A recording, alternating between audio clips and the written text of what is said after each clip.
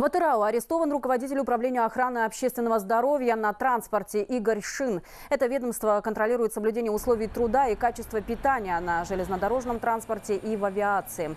Главный транспортный санитарный врач подозревается в получении взяток от работников этих структур. В настоящее время антикоррупционной службой по Атырауской области проводится досудебное расследование по статье 366 части 3 Уголовного кодекса Республики Казахстан.